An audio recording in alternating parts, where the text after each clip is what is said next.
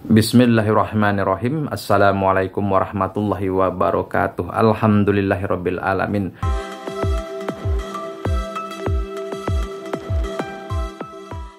Kawan-kawan yang saya muliakan, coba Anda perhatikan secara seksama ranting-ranting pohon yang ada di sekitar halaman rumah Anda atau di sekitaran kebun di dekat rumah Anda. Dari sebanyak ranting-ranting yang bercabang-cabang itu, coba Anda perhatikan pula secara seksama, apakah ada satu ranting dari sebanyak ranting yang ada di pohon tersebut yang tidak berbelok-belok, yang tidak bengkok, yang tidak benjol, yang tidak berlubang. Benar-benar satu bagian itu lurus selurus-lurusnya. Jika ada, ambillah itu segera, potong bagian yang benar-benar lurus itu, lalu kupas kulitnya. Setelah itu, Anda tancapkan ke tanah. Tapi menancapkannya jangan langsung dipukul dengan besi. Pukullah dengan kayu sampai ranting yang telah Anda kupas itu benar-benar terbenam. Yang terlihat hanya ujung isinya saja. Biarkan selama satu minggu kayu tersebut terbenam dalam tanah. Yang kedua, orang tua-tua kita dulu meyakini bahwa penyebab dasar seseorang itu gampang lita,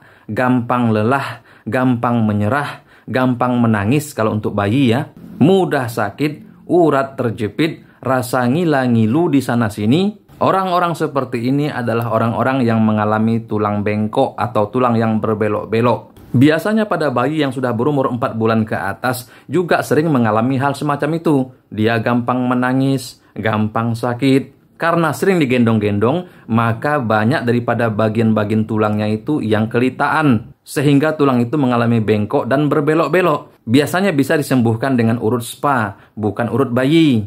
Nah, begitu pula yang terjadi pada orang-orang dewasa yang gampang litak rasanya badannya, yang gampang lelah sedikit berjalan, yang gampang menyerah ketika menghadapi sebuah masalah, yang gampang mengamuk jika sedikit tersinggung, dan biasanya selalu kepayahan dalam mencari duit, sehingga rasa pegal, rasa ngilu, rasa sakit, dan rasa-rasa yang tidak mengenakkan lainnya selalu terasa di berbagai bagian tubuhnya. Kalau dibiarkan terus, maka ujung-ujungnya akan menjadi urat kejepit, kata orang-orang sekarang. Nah, sebenarnya ini adalah gejala menurut orang tua-tua kita dulu akibat dari tulang yang belok-belok atau tulang yang bengkok. Nah, jika ada di antara kita yang mengalami perasaan atau fenomena seperti ini, maka ambillah segenggam tanah radio sejengkal dari kayu lurus yang tadi kita hujamkan ke dalam tanah yang telah berumur selama satu minggu di dalam tanah. Lalu tanah segenggam itu campur dengan air sedikit dan akan lebih nyaman jika dicampur dengan minyak goreng atau minyak kelapa. Setelah dia licin atau lembek jika digunakan air,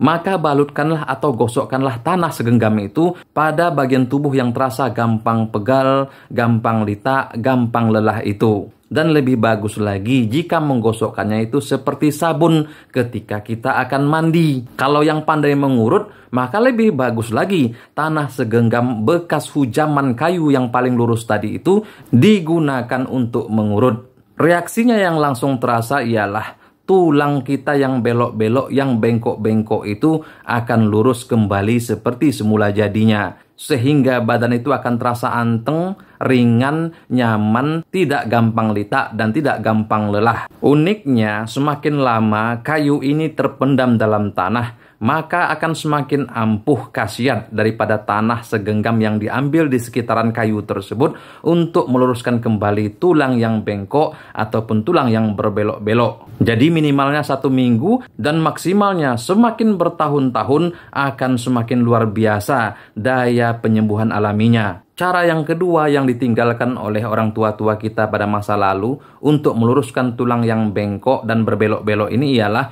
menggunakan akar mayang kelapa. Pasti semua sudah tahu kan mayang kelapa. Nah, ada sebagian mayang kelapa yang memiliki akar berjumbai-jumbai dia itu. Nah, akar mayang inilah yang ditumbuk sehingga mengeluarkan air. Sebaiknya menumbuknya di plastik supaya air yang keluar dari akar tumbuk itu tidak meleleh ke mana-mana. Setelah terkumpul airnya, walaupun satu sendok itu sudah sangat cukup kawan-kawan. Kalau diminum sangat efektif untuk membersihkan pembuluh darah dan kalau dijadikan minyak urut atau air urut, maka sangat ampuh untuk menyembuhkan yang gampang lita, gampang lelah, gampang berputus asa, bahkan untuk yang gampang menangis pada bayi. Walahu alam bisawab, mudah-mudahan bermanfaat. Minta ampun maaf jika tersilap kata, tersilap lidah. Assalamualaikum warahmatullahi wabarakatuh.